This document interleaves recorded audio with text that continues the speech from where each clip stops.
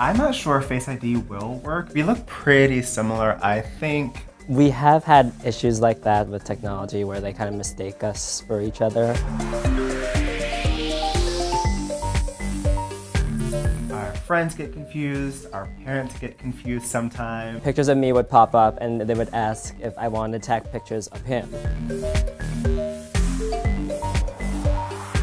I think we might trick the Face ID today. Apple, are you up to the challenge?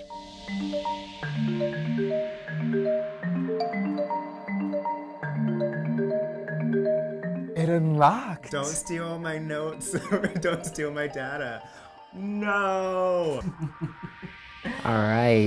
It worked, huh? This is amazing. We have our own phones for a reason. iPhone X not twin compatible.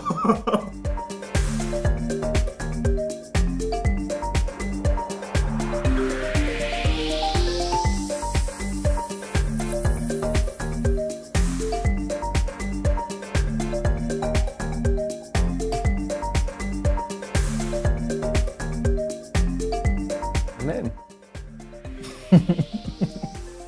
I'm gonna read all your texts.